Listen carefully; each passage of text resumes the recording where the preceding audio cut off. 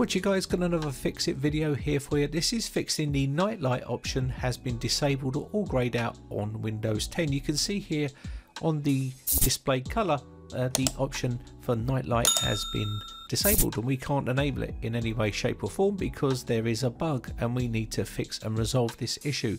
I'll show you how to do it in this video. It's very easy to do and I'll show you a couple of little options you can do to try and fix it. That's quite a common little bug and uh, coming down to the bottom right hand side you can see here also it is grayed out as well and you can't enable this feature. So let me go ahead and show you a simple fix. There is a registry uh, key which you can do and run it and it will then hopefully enable that feature. This is it here. And I'll leave uh, the link in the video description for this file so you can just go ahead and run it. So let me go ahead and run this here just say yes to the user account control and yes to enable this to install. And there we go. And what you need to do now is reboot your system. Now once you reboot the system hopefully your problem should be rectified. It's that simple and easy to do. So we're just going to quickly reboot here. And I'll quickly show you the end result. Now if this doesn't work I'll show you another thing you can do by deleting uh, the registry keys manually yourself rather than using the registry key. So let me just quickly let this uh, load up here. Okay, so it's uh, nearly at the desktop. And we'll just let that log in.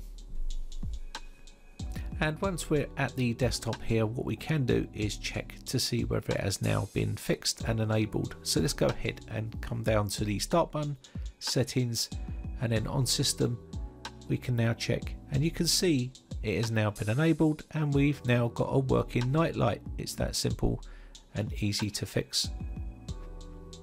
Also down on the bottom right hand side you can see that has also enabled us to enable it and disable it now we'll leave all the information in the video description as always let me just quickly show you this other method here which is going in, into the registry yourself and manually deleting those files.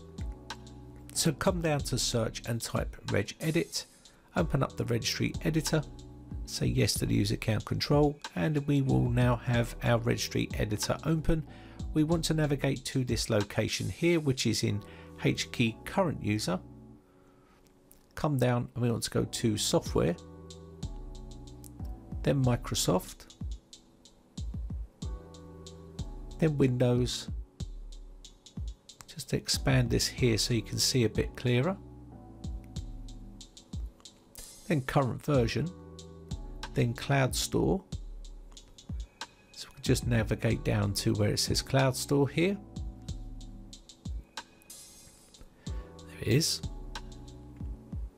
and open this up go into store drop this down cache, and default account. Now you can see we're in uh, this area here, just expand this and you can see these two files, they start with blue. They're at the very top here, I'll highlight them in a second so you can see them. There we go, it's those two there and I've highlighted them on the screen. You just delete those two there and you should be pretty much good to go and that should fix it if the first fix doesn't work for you okay so you just need to delete these two uh, sub keys here. Very easy. And they will, uh, will repopulate once you reboot the system and that should fix and resolve your problem. And of course that's uh, now done. And all you need to do is close this off and reboot your system. I'm just going to close this tree up so we don't uh, have any problems. There we go. Just like to keep this uh, closed and tidy like so. And we can close that off and reboot our system and we should be back up and running in no time at all. Anyway I think that's about it for this video.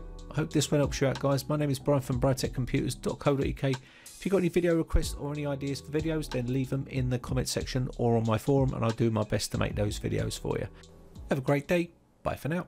Now, if you haven't subscribed yet, hit the big red subscribe button on my YouTube channel and hit the bell notification button next to that to be notified when we upload new videos.